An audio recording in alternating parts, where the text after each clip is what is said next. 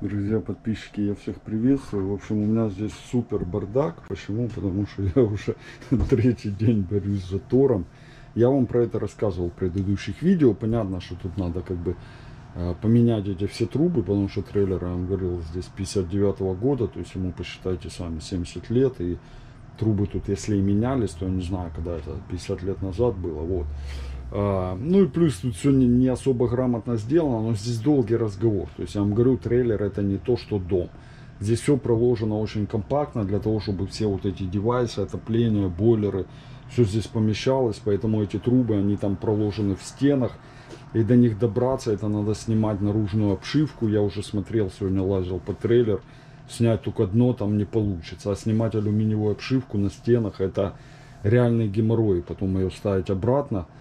Конечно, если уже будет крити, критическое что-то, то придется это все делать. Но пока э, спасаюсь э, такой временной прочисткой труб. И заодно, так как у меня большой опыт в этой прочистке, хотел вам э, сделать как бы небольшой обзор, какие у нас существуют на рынке системы для прочистки и что как бы они дают. Ну, первое, естественно, надо использовать всегда вот эти сетки. То есть здесь были э, оригинальные с большими дырками, ну, которые вставлялись туда, потому что это дорогие эти сливы, я не помню, сколько они там стоят, но что-то там э, дорого, короче. И они у меня где-то лежат. Они такие с крышками, там нажимаешь кнопку, она закрывается. Но там очень большие отверстия, поэтому я покупал такие. Но сейчас она грязная, потому что тут был затоп, это вся э, дрянь, короче, из калины сюда текла. Вот. Я покупал отдельно такие мелкие, вот, ну, всяких разных моделей у меня были, ну, то есть даже с учетом того, что у меня все собирается, все объедки пищи в этой сетке, я их потом выкидываю, все равно оно забивается. Я вам сейчас покажу. А, значит, да, по поводу прочистки, значит, первое, использовать надо сетки, второе, вот эти вот все штуки, они полностью бесполезные. Вот эти, вот эти, то есть на них э, не стоит даже тратить деньги, потому что это как мертвому припарке. Потом у нас есть вот такие вот варианты. Вот я уже две использовал. Сейчас а, вам про них расскажу. Короче, они бывают миллионных всяких разных видов.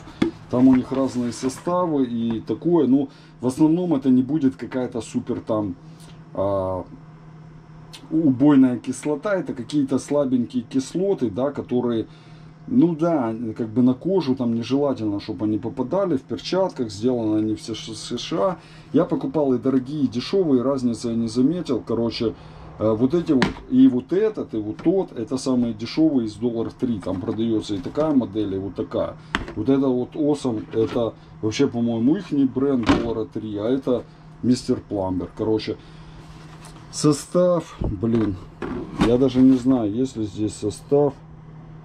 Здесь и состава нет, он, наверное, а нет, есть. Вот, содиум, хипохлорид и каустическая сода. Вот, то есть я вам говорю, здесь очень слабые составы, потому что они не хотят, чтобы люди себе э, что-то именно вредили. Вот, здесь даже написано, попало на кожу, снять одежду, если на одежду попало, немедленно промыть водой в течение 15 минут и здесь тоже видите содиум гидроксид и какие-то сурфактанты. То есть это даже не кислоты, а какие-то, короче, слабенькие растворители волос, жира, такой всякой мелочи. Короче, они могут помогать на начальных этапах, да, или их надо просто много купить, а не по доллару. И раз в неделю, например, там на ночь, в субботу или там в пятницу спать идете, залили, и может быть постепенно, если их часто заливать, они будут чуть-чуть прочищать. Но э, в итоге все равно оно забивается. Оно, как оно может прочистить, если ими пользоваться, я думаю, постоянно. Тогда с них, наверное, будет эффект. Если там уже очень большие заторы, вот 50-летние, то эти штуки, конечно, вам в жизни не помогут. И даже нет смысла. Я вам говорю, вот эти две банки – по сути дела, это должно быть на 4 растворения. То есть, потому что это одна банка, она на два раза вообще рассчитана. Я их использовал обе. А еще заливал кипятком. Вот у меня стоит чайник, кипятил кипяток. И шел мертвому припарке, но они дают эффект. То есть, смотрите, что они делают. Вот там то, что есть в трубах, оно из-за этой хрени превращается в вот такое дерьмо. Я вам говорю серьезно, вот какая-то Это не то, что маленький кусочек, я вам показываю. Вся труба была покрыта вот этой белой штукой. То есть то, что там есть, оно вот за ночь превращает вашу хрень вот в такую какую-то белую субстанцию. Я не знаю, что это остатки мыла, остатки жира.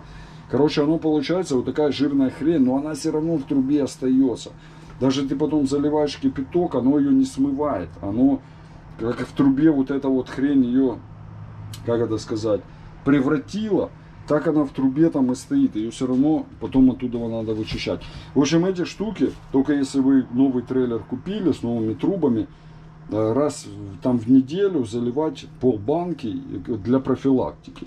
Другого толку от них нет. Если уже забилось, вы этими хренями ничего не прочистите. Вот. Прочистить можно, значит, начиная с самого начала. Э, как по моему опыту, я понял, самая из дешевых эффективная вещь, это вот эти вот они называются снейки, от слова змея, короче, э, по-русски это еще в советское время, я помню, ну, у нас тоже забивалась калина, и, короче, э, у нас была такая, и мы сами, короче, ее чистили. Но у нас это было все проще. У нас были толстые чугунные трубы, и было специальное там, открывался отсек для, как оно сказать, для обслуживания. Там, я помню, в кухне, прямо они шли по полу, эти трубы. И с одной стороны эта труба открывалась, туда засу... Короче, грубо говоря, по-русски это трос. Был такой трос металлический на конце с ёршиком, он туда в трубу вводился, там шурудили им, и все прочищалось. Это, короче, какие-то аналоги вот этих снейков, они, короче, бывают всяких разных. Я уже за это время, вот жизни за 5 лет в трейлере, у меня один уже полностью. Короче, маленькие, которые ручные. Э, есть маленькие ручные, которые в мотках продаются, и таким же образом вы их используете как, э, ну, как вот советское время. Был у вас этот трос, он просто свернутый в кольцо у вас где-то хранился на балконе, потом, когда забилось, вы его достали, прочистили это. Вот, это примерно то же самое, только они здесь продаются в виде девайсов. Значит, ну, наверное, у нас тоже сейчас продаются, я не знаю. Раньше я не интересовался ими, а теперь я уже по ним тут стал специалистом. Короче, самую я покупал вначале ручную, вот которая свернута, такая вот, без девайса, а просто сам трос. Короче, тоже это бред. Он, э, во-первых, короткий, во-вторых, им запаритесь что-то чистить, короче, тоже трата времени. Надо брать по минимуму, по минимуму, надо брать вот такую. Короче, вот эта вот фирма Брасскрафт американская, э, э, что в этом девайсе хорошо? Во-первых, здесь хорошо, что его много, здесь этого троса. Ну вот я его выкинул, потому что он порвался. Но ему уже много лет. В принципе, все эти годы он отрабатывал нормально. Короче, вот такой вот у него наконечник. И сам трос он сделан не как трос, а это все вот такая вот пружина. Пружина, примерно такая пружина, знаете, которая используется в триммерах, которые вот косу косят там в этих бензиновых, в электрических, наподобие такой же пружины. Они бывают разные, но в основном распространены 15-16 фит. Это получается у нас 4,5 метра. И вот эти 25 feet, то есть это получается где-то э, около 7 метров, да, 7 метров. Короче, надо брать вот эту, ну, как мне кажется, надо брать 7-метровую. Я вот не помню, сколько в этой было, вот. Но вот в этой 25 feet это 7-метровая и вот это. Короче, вначале я взял вот эту, а, она, в принципе, все с ней круто. Вот это вот, мне кажется, один из самых удачных дизайнов и рабочих. То есть, здесь есть как бы два режима. Первый режим, когда э, работы, когда этот трос ходит свободно, то есть вы его можете, ну вот смотрите, я вам показываю, вытаскивать рукой и затаскивать туда-обратно. Вот. То есть он вытаскивается и затаскивается. И там внутри он автоматически складывается в эту в круг. И здесь то же самое, и здесь. А, разница в чем? Что вот здесь просто уже троса нет, я вам не могу показать. Так. Значит, смотрите, вытащил, затащил, да? Там то же самое. Но, э, к примеру, чтобы его туда-сюда и лозить, чтобы он не лозился у вас здесь, здесь есть вот э, фиксатор. То есть, когда он э, закрыт или открыт, я не помню, ну это не важно, открыт или закрыт, он ходит свободно, потом, когда закрываетесь, он фиксируется. Здесь эту функцию выполняет вот эта ручка. То есть, когда ручка нажата, вот, его уже вытащить или затащить нельзя, он мертво сидит. Вот. Ну, а здесь, э, видите, нету такой ручки, а просто вот эта защелка. Ну, вот оно как бы не очень удобно. Ну, здесь зато можно подключать э, дрель. Короче, мучился я с ней э, ручной, но оно все работает. Вот этой, в принципе, штукой доволен. И ручной режим работает, и режим дрели. И, в принципе, ее даже можно не выбрасывать, а потому что вот эту вот э, саму хрень можно сменную купить. Но дело в том, что я поехал сегодня в Home Depot, почему-то они уже эти... Э, Брасскрафт не продают, и, нет у них ни самих этих девайсов, нету ни этих, потому что это я много лет назад покупал. И сегодня только вот э, во время прочистки порвался вот этот, он просто напополам порвался, этот трос, вот, и я его выкинул. Хотя его, в принципе, можно не выкидывать, а можно вот эту часть, ну, оставить, вставить ее обратно, она точно так же вставится, но просто она будет короткая, мне такая короткая все равно толку с нее нету, поэтому как бы я ее пока или выброшу, или положу куда-то, а потом, может, куплю этот сменный. Ну, может, и не буду с ней уже париться, потому что уже другую купил. И, короче, э, вторая фигня, которую я взял, вот это, это фирма Rigid, вам уже всем известная, вот она, она. Значит, все с ней круто, абсолютно круто, короче, она работает и все. А, единственное, здесь чуть-чуть другой механизм. То есть, видите, здесь а, Получается, как это вам сказать? Короче, система, как бы сказать, подачи. То есть вот эти три подшипника, это именно подшипники. Они, вот эти вот, используются как направляющие. То есть направляющие, которые, вот вы когда видите, нажимаете, вот эти вот подшипники э, верхние прижимают а, этот трос пружину, трос пружину к нижнему он сейчас стоит мертво. Но если вы начнете крутить ручку вон ту, он будет э, вращаться. Это трос и по этим подшипникам он как по направляющим идет туда-сюда. Но это я вам сейчас на том покажу. Короче, с этим девайсом тоже как бы все круто. Единственное, его единственный, собственно, недостаток, у него нету а, подключения дрели. И все. И то есть его нету, и поэтому только вот я им не пользуюсь. Но я его тоже когда-то купил, я не помню, или я еще тогда не шарил, или не было других, не помню. То есть э, они очень популярны, и часто их нету в ассортименте. И сегодня, короче, я увидел вот эту. Я вам показывал в другом видео, где был обзор этого с Home Depot. Я когда ходил ее покупать, там еще на Воке обозрел. Вот одна Короче, это тоже Rigid, только другая модель. Та я не помню, как называется, а это Power Spin. И у них есть еще третья линейка профессиональная. Там потолще этот кабель. И здесь, видите, все вот эти вот девайсы, у них у всех этот кабель одинаковый, такая просто пружина.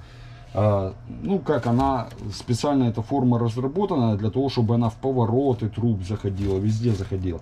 Единственное, что оно, ну, вот это ладно, это я вам в конце расскажу. Короче, здесь тоже длина 25, так же, как и в той. Э, то же самое механизм на вот этих подшипниках.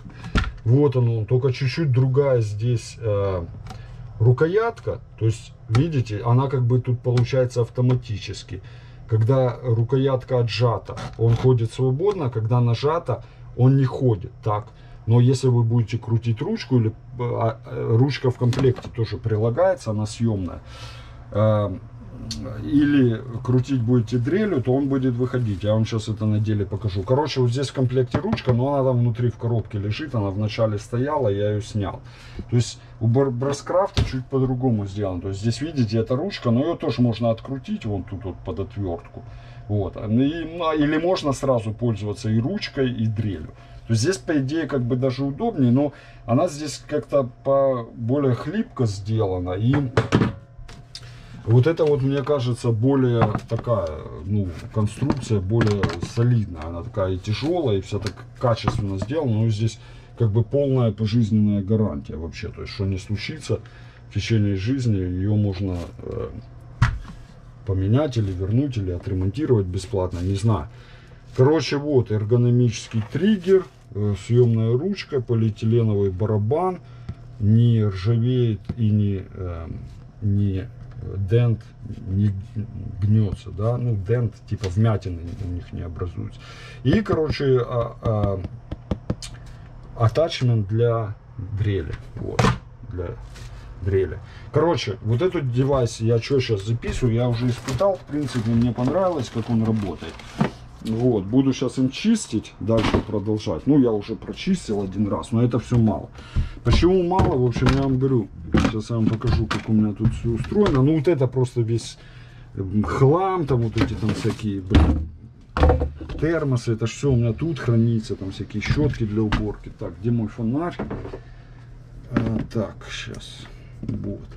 Вот, короче, ну, эта вся система, понятно, разобрана, вон она валяется. Вот этот выход канализационной трубы, вон она туда пошла. Тут у меня стоит этот э, обратный осмос и э, бак для накопления э, питьевой воды. Вот. И вот сам этот самый. То есть, когда я в начале, вот только вчера его разобрал, вот там, короче, куча дерьма, которая повытекала из этой трубы. Ну, там, вот видите, вот это все белое, это весь вот этот вот хрень, которую создали вот эти химикаты. То есть оно не было сначала такое белое и такое. То есть, может быть, и оно еще даже и не помогает, а может, наоборот, оно еще хуже делает. Вот непонятно, потому что оно, когда становится белое, оно еще как бы расширяется. И всю эту трубу этой белой хренью забивает.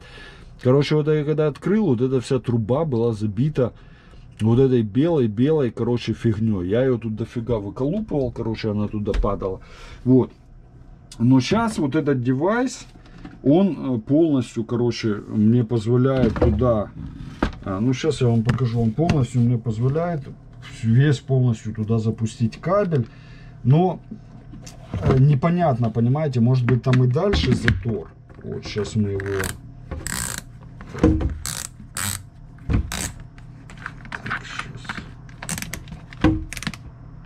затянем, затянем, затянули. Так, э, скорость должна быть маленькая, 500 оборотов. Вот, потому что эта пружина, она все-таки понятно, что металлическая классная пружина каленая, но а, то же самое ее тоже, если э, руки не из того места, можно, конечно, сломать. Вот, как у меня та сломалась, ну та сломалась ей 5 миллионов лет, в принципе, и простительно, потому что они, э, наверное, рассчитаны, что они будут ломаться время от времени. Э, и вот этот вот уже он полный прошел ход туда-сюда, то есть это она почему такая немного грязная. Вот.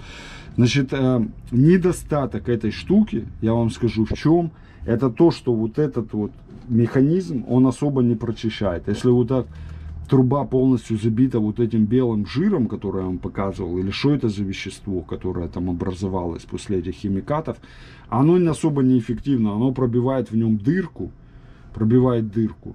И потом, когда ты ее обратно вытаскиваешь, эта дырка просто схлопывается и все. Ну, короче, как, оно чистит, да, но это не так сказать, что ты ее раз туда-сюда прогнала, оно все прочистило. Конечно, можно брать вот эту, блин, дорогую профессиональную, где сменные насадки, вот, но видите углы, то есть вон видно, что труба загинается, идет туда вниз. То есть я бы вот это бы вообще бы переделал, но туда... А, блин, как это сказать? Ну, то есть я могу переделать только вот это, что тут снизу. Оно чуть поможет, но особо оно не повлияет. Потому что, чтобы все переделать, это надо, я разбирать весь трейлер. И, короче, все это или менять, переделать там. Ну, короче, скорее всего, менять это все надо. Или, да даже, может, и не на более толстые трубы, но хотя бы на новые. Потому что эти, они просто уже за все эти 50 лет все забиты. Вот. Короче, последнее, что я вам показываю, показываю, как работает этот девайс. В общем, блин, просто уже долгое видео. Короче, вот. А, нацепил я дрель, да.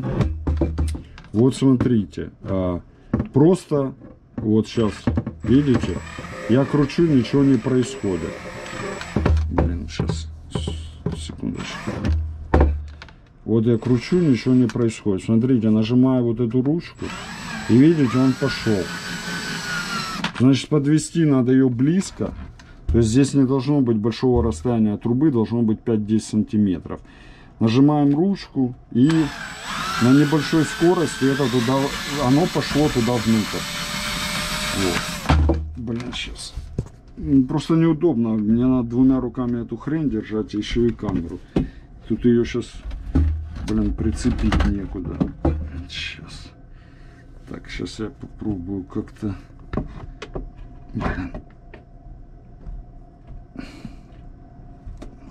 А, вот так вот, вот я сейчас. Так, где она здесь? Блин, не вижу еще. А, вот она, она ниже.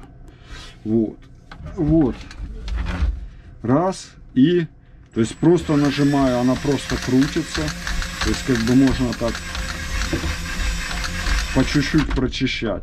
Нажимаю эту штуку и пошла загрузка э, этого троса внутрь.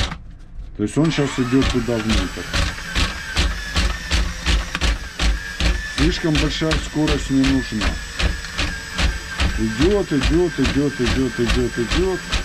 И, короче, таким макаром, ну, можно его вот так вот как бы прочищать. Ой, блин, сильно нажал. Можно вот так вот прочищать, короче. Слишком большую скорость не надо. Вот, и такой маленькой скоростью загружаете полностью весь этот кабель внутрь, трубу.